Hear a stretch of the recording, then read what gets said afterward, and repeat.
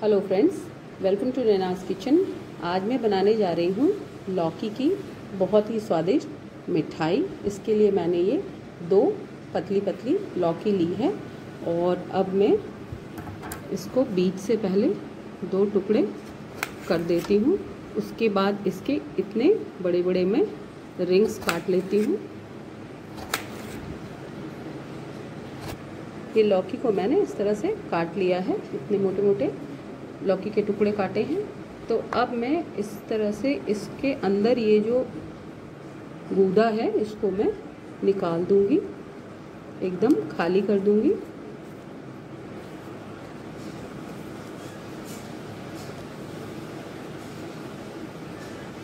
इस गूदे को मैं निकाल के अलग कर दूँगी।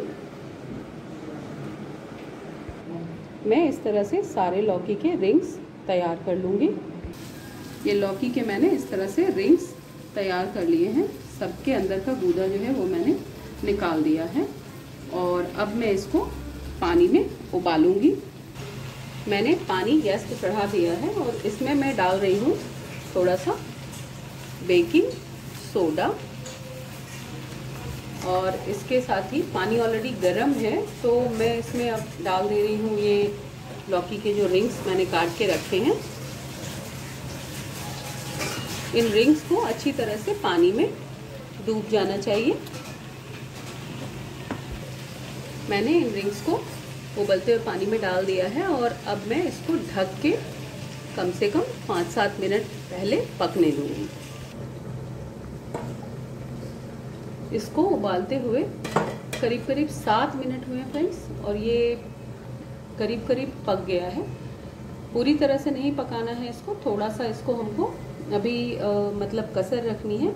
करीब 60 परसेंट पकाना है 40 परसेंट रखना है क्योंकि इसके बाद जब मैं इसको चाशनी में डालूँगी तो फिर ये और पकेगा।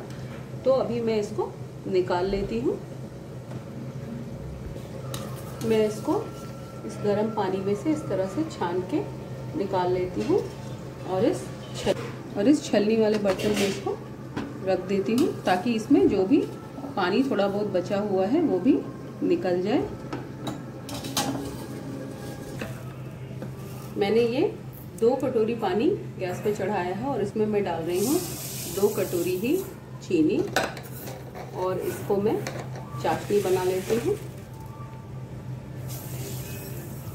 जब ये थोड़ा सा घुल जाएगा, एक बार इसमें बॉयल हो जाएगा तो मैं इस जो मैंने ये लौकी के रिंग्स तैयार किए हैं, इसको मैं इसमें डाल दूँगी। चीनी को मैं अच्छी तरह से चला चला के मिलने दूँगी और एक उबाल इसमें आने दूँगी। चाशनी में उबाल आ गया है तो अब मैं इसको इसमें डाल देती हूँ।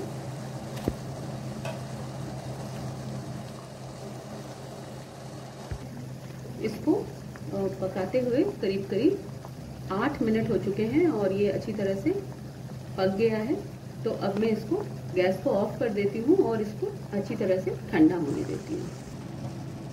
मैंने ये पैन गैस पे चढ़ा दिया है। पैन हल्का गर्म हो गया है। तो मैं इसमें डाल दे रही हूँ खोया।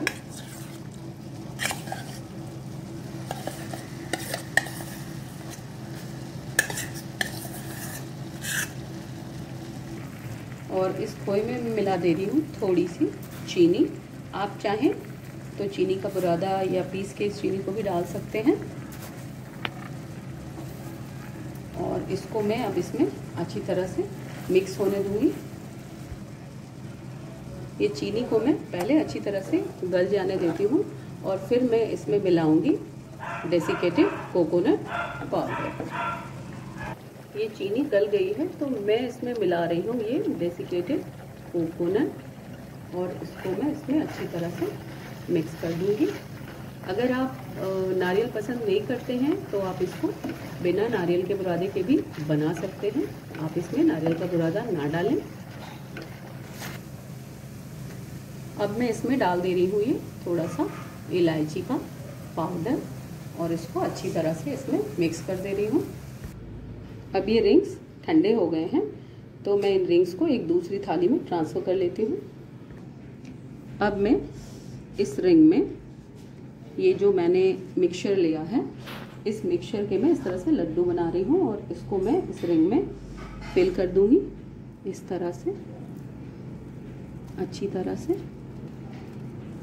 और अब मैं इसको पलट के इस तरह से दूसरे साइड से चेक कर लूँगी। और अगर ये मुझे कम लगेगा तो मैं थोड़ा सा और इसमें डाल दूँगी। ये पूरी तरह से भर गया है तो मैं इसको और अब मैं इसके ऊपर ये जो मैंने पिस्ते लिए हैं, थोड़े से, इसको मैं लगा दूँगी। थोड़ा सा बादाम डाल दूँगी और अब ये मिठाई हमारी रेडी है। इसी तरह से मैं सारे रिंग्स को भर लेती हूँ। लौकी की मिठाई बनके तैयार है। बहुत ही टेस्टी मिठाई बनी है। आप भी इसे बना के ज़रूर ट्राई करें। अगर आपको ये पसंद आती है तो इसे लाइक करें, दोस्तों के साथ शेयर भी करें और मुझे भी बताएँ कि ये आपको कैसी लगी। फिर मिलती हूँ एक नई रेसिपी के साथ। बाय